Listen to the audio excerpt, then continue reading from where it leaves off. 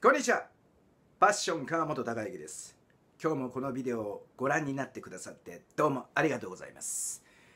いつも言ってますようにこのチャンネルのビジョンはたった一つ。あなたの人生がより素晴らしいものになっていくことです、まあ、最終的にね最高傑作になってくだされば最高です。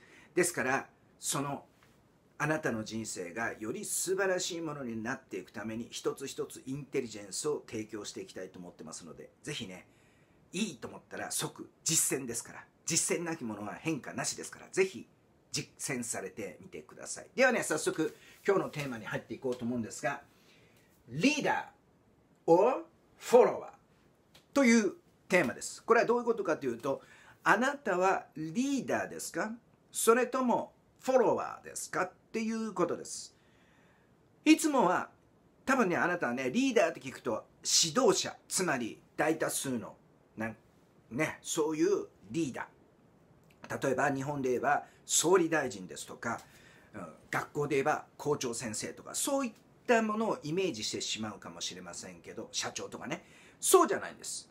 単純にリードする人です。リーダーです。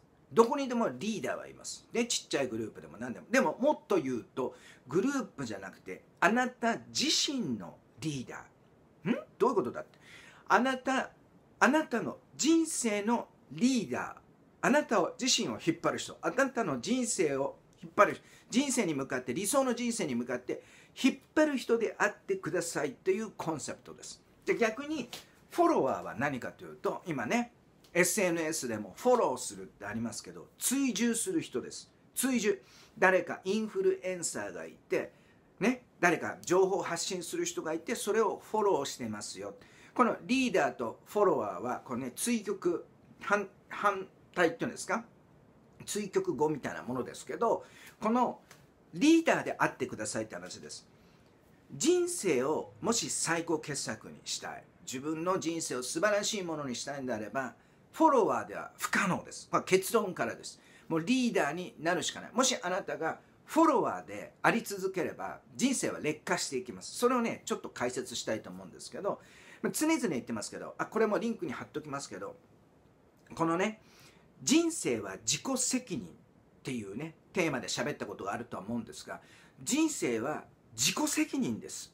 ですから、依存してる限り、何かフォローして依存して何か頼って他のせいにする限り絶対に成功はないです。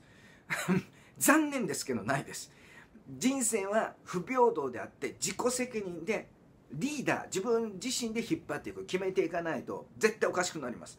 それはねどういうことかというとまあ依存をして例えば会社がいけないんだ国がいけないんだこの人がいけないんだこのインフルエンサーがいけないんだこの人が言ったからいけないこの人がやったからいけないって延々と言い続けてる限り言い訳になってしまうんです。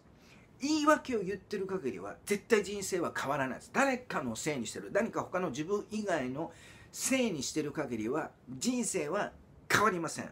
ピリオ結論なんです。これはもう決定的な成功哲学でもうこれを肝に銘じることです。なかじゃあどうしてかというと簡単ですよ。人のせいにしてる限りその人はコントロール他人はコントロールできませんから延々と待ちの姿勢になります。延々と延々です。ところが自分あ自分がいけないんだ。ってってなると自分を変えればいいですからそうすると言い訳は言えなくなってあ自分のせいなんだ自分がいけないんだってなるから自分を改善させてゴールに達成するっていう考え方です。ですからこのフォロワーになるってことを限りなく、まあ、ケースバイケースでね。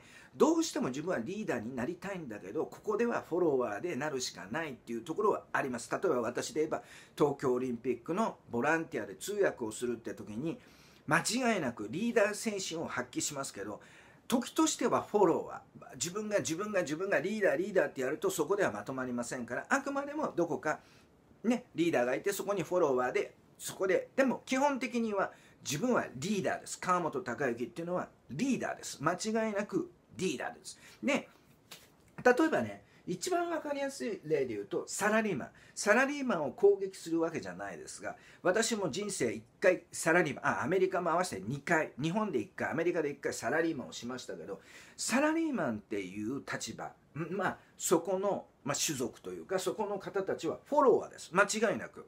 それは社長に対してのフォロワー上司に対してのフォロワーその何か組織に対してのフォロワーですのでなかなかリーダーになることがねですからコントロールされちゃうわけです。給料をコントロールいくら稼ぐかをコントロールされてそしてスケジュールをコントロールさせてもっと言うと家庭をコントロールされる、うん、どこへ行け事例が出てベトナムへ行けベトナムへ行かされる。自分は望んでないのにどっか違うところへ行かされたりだとかそういうことです。でもリーダーというのは自分の人生を引っ張るリードする人ですからそうはいかん。自分がここで暮らしたい。自分はこれだけ稼ぐ。自分はこういうことをする。という自発的なものですから結論から言うとリーダーというのは自発的積極的こんな感じですね。フォロワーというのは依存的受け身的消極的こんな感じになってきます。ですからその大多数のリーダーではなくて何度も言いますけど自分自身のリーダー自分のリーダー自分の人生のリーダーになるっていうことを心がけてほしいんです。これが心構えです。自分に対して質問するんです。自分はリーダーなんだろうか。はたまた。フォロワーなんだろうか。じっくり瞑想して問いかけてみてください。内なる自分に。もし今あなたがフォロワーだな。でも自分は人生を変えたい。リーダーになるべきだ。今がタイミング。リーダーになりましょう。あなたはリーダーになるしかないんです。道はないんです。人生を変えたいんであればリーダーになるべきなんです。わかりますか？別にキャッチャーが悪いとは言わないですよ。でもキャッチャー受け身のキャッチャーではなくピッチャーにピッチャーになるべきなんです。自分から情報を投げる。自分から何かを知らす。自分がリーダーになって。ね。今地球温暖化で話題になってるグレタ・トンベリっていうスウェーデンの女の子がいますね。リーダーです。紛れもなくリーダー。彼女は自分で自分の行動アクションをしたんですね。それが連なって世界中に広がったじゃないですか。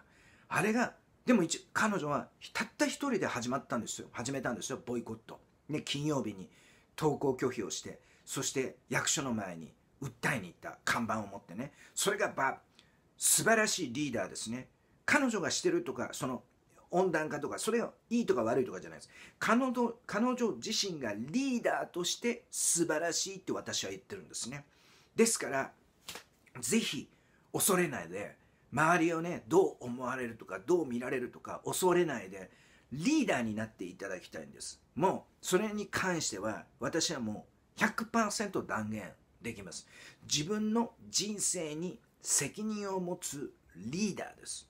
ね誰かのフォロワーになって誰かの言いなりになってそれがたとえ両親だろうが先生だろうが師匠だろうが関係ないです。そこに関しては。あくまでも自分の自身のリーダーです。ん？川本先生師匠の言うことは聞きなさいって素直だってその通りです。自分の意思のリーダーになって素直に聞くんです。ここは全問答みたいな話ですけど自分がそうだって言うから聞くんです。ねフォロワーじゃない。ただの言いなりイエスマンになっちゃダメです。ただのフォロワーではいはいはいそうじゃないです。自分自身のリーダーとしてはいかしこまりましたっていう姿勢ですね。ですからまあ改めてまとめますけどリーダー人生を変えていく人生を最高傑作にしていく、ね、私が常々言ってる成功の5分野を限りなく成功していく人はリーダーでしかないです。もしあなたがフォロワーだったらそれは結論から言えば不可能なんですね。ですからぜひね今日今日までフォロワーだったかもしれませんが必ずねリーダーになれます。自分の人生のリーダーになりますからぜひ今日から自分はリーダーなんだと思って生きていきましょう。ではね今日はリーダー or フォロワーということで話しましたけどぜひリーダーの心構えリーダーの志自分はリーダーなんだということでこれからね人生を毎日今を生きるという気持ちで生きていきましょう。それでは今日も一日最高傑作にしていきましょう。Love with Passion